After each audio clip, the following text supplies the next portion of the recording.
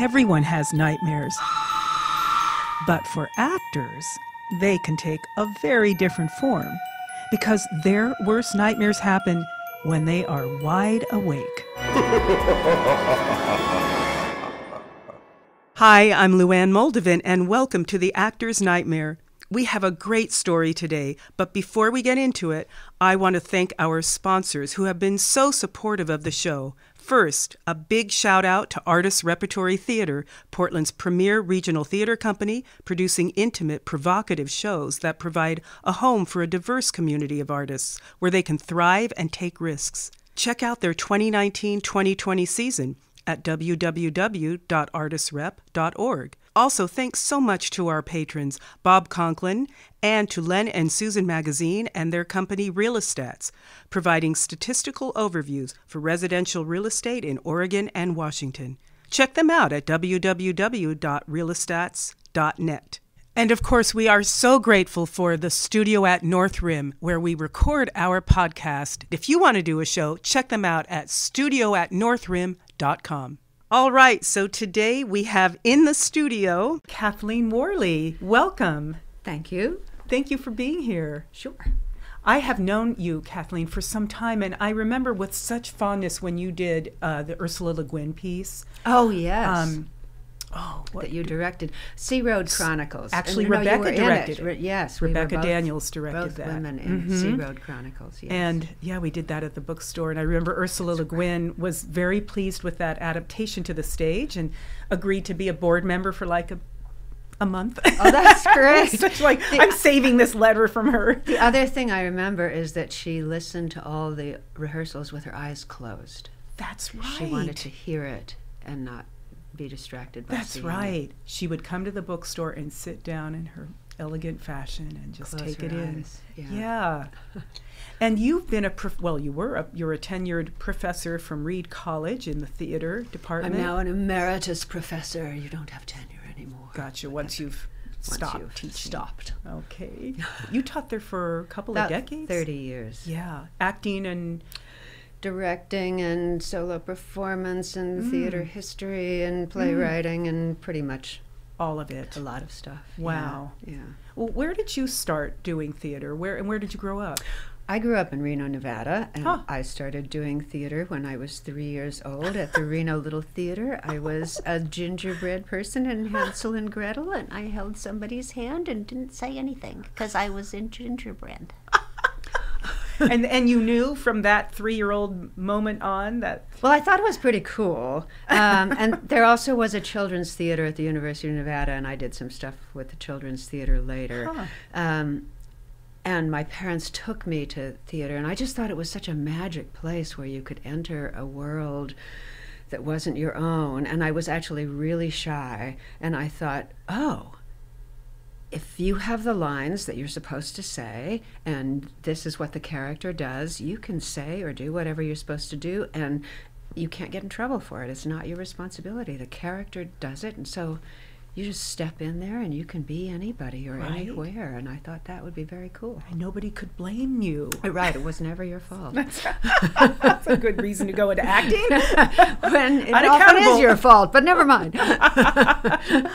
and so, um, after your early days in, in Reno, then where did you go? Where did you go to college? I went to college in Claremont, California. I went to Pomona. That's where Vanna went. Vanna I know. O'Brien. She Mhm. graduated just before I came. Wow. Um, uh, and then I got my MFA from the University of California at Riverside. okay.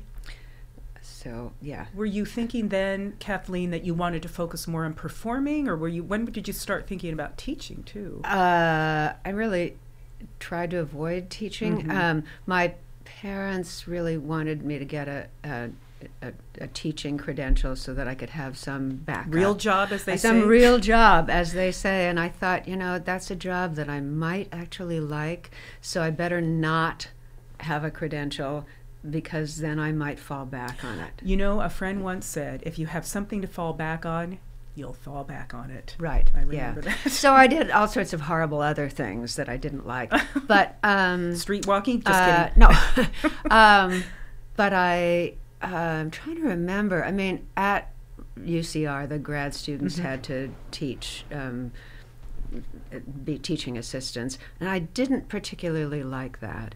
But later, um, when I was working as an actor in Seattle, I um, a friend and I did some um, classes at a sort of a studio that was there, uh, and there was also a group called the Phoenix Players of people over fifty, and they had hmm. some classes, and I had all these amazing women who had always wanted to dip into acting mm. and hmm. never done it for one reason or another.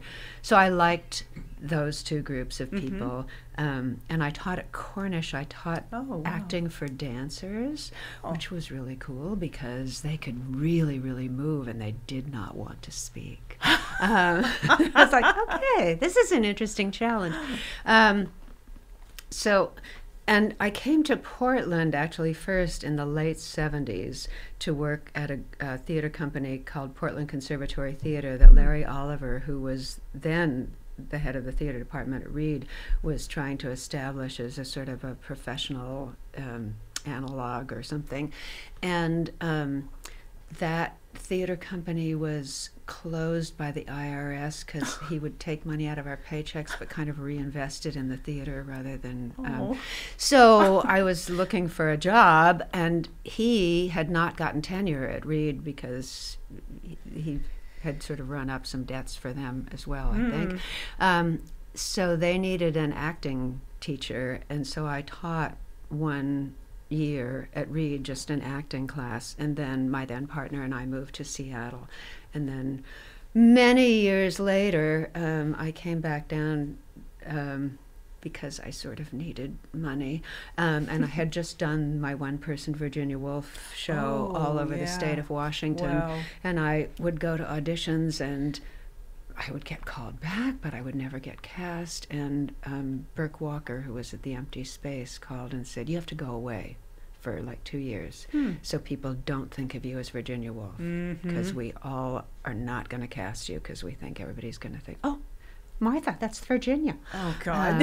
Uh, but my job is to be someone else. Yeah. Um, so when I was called uh, by Roger Porter, who taught in the English mm-hmm, department. Mm-hmm. Um, and he said they're looking for somebody to replace someone in the theater department for a year and a half. And I thought, well, I'll apply. That would be perfect. And I never left. Well, And you had your teaching certificate still? No, I had my MFA. I've never so had a teaching to, certificate. Oh, because no, private, uh, it's yeah. not public school. Yeah, uh, yeah, uh, yeah. No. So that okay, that's your teaching, which is incredibly impressive. Really, taught that long and taught well. Yeah. Um, and today you're going to tell us a couple of stories, and it's from the time when you were performing, which you did a lot of. You were acting. I'm not just Virginia Woolf, which is stunning, a one woman show that you put together. Yeah. Wow. Yeah.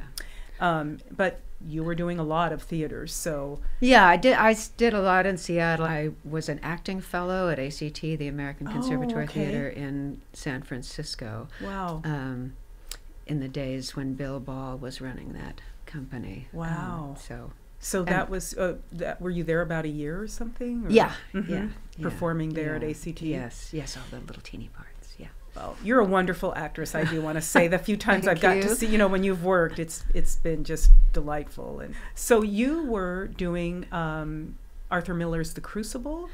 Yeah. And where was that? This what? was at ACT in San oh, it Francisco. Was? Okay. And um, the people who were acting fellows played smaller mm-hmm. roles. Mm-hmm. You know, we were the girls who were screaming and yes. going crazy, and oh, we God. were people in the courtroom, and and actually.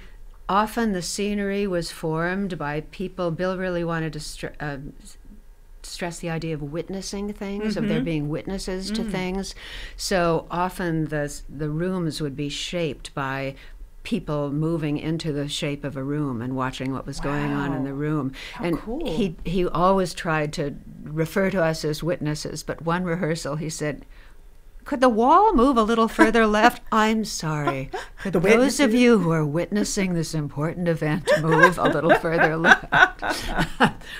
but um, in How, a Oh, go ahead. No, I just want to say how exciting to be able to work with William Ball. It was, yeah. It's he was eccentric but wonderful. Yeah. Uh, it was actually right after ACT. There mm. was a, a theater company in the Napa Valley called, rather uneventfully Napa Valley Theater Company, and uh, I was playing Stella in a production of Streetcar Named Desire.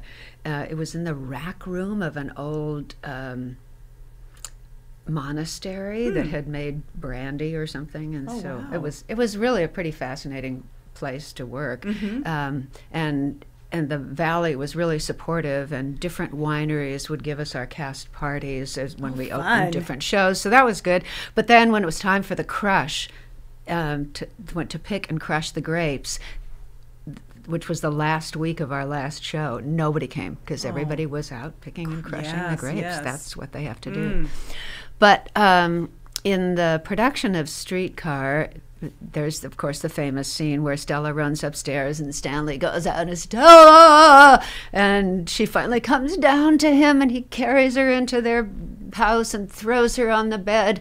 And Stanley was played by a pretty big guy, and he would throw me on the bed and then just launch himself on top of me. And so I would sort of oh brace myself for the onslaught, and and you know he launched himself on top of me, and then the lights came down. Mm-hmm. And one night he threw me on the bed. He launched himself on top of me, and nothing happened.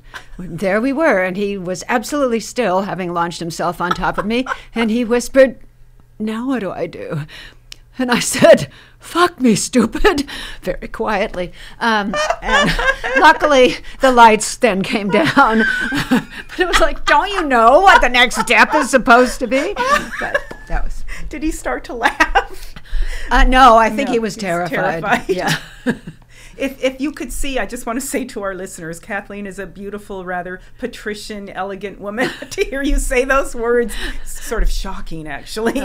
I but you, you were in your youth at the time. I was younger. It's Your true. body youth. Uh, my body youth. Yes. Wow. Well, it's lucky. Okay, those lights did come down finally. That's true. Yes. Yes. But if they hadn't, Yes, I think I would have. I, I actually did sort of try to get my arms out so that I could look Right. like I was wrapping my Yes, arms yes. around him because they hadn't been mashed. And, and, but luckily, the lights. I, I don't know what the person in the booth was doing, but luckily they were so they, they were so caught up. they in were the so moment, caught right? up. In But- the oh wait, I have a moment, cue. yeah. What wait, am I doing? wait, me, me. Yes, That's right. Actually, I have another favorite story. Yeah. When Stella finally goes into labor at the end of one Mm, of the mm-hmm. scenes, um, there was this charming older couple in the front row, and I kind of grabbed a chair and leaned over, and Stanley has the line something like, What is it, Stella? And this woman in the front row yells, It's the baby! It's the baby!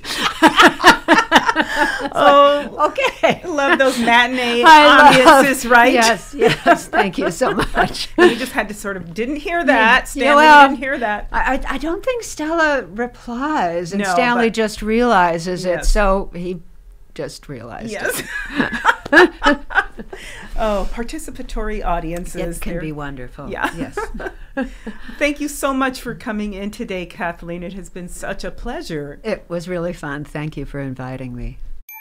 Thank you so much for tuning into The Actor's Nightmare.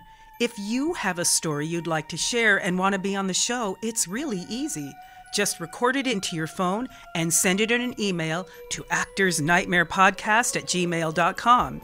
And remember to subscribe to the Actors Nightmare podcast. You can go to our website at www.actorsnightmarepodcast.com, choose subscribe, and then choose the platform that you like to use to listen to podcasts. Please subscribe if you like what you hear.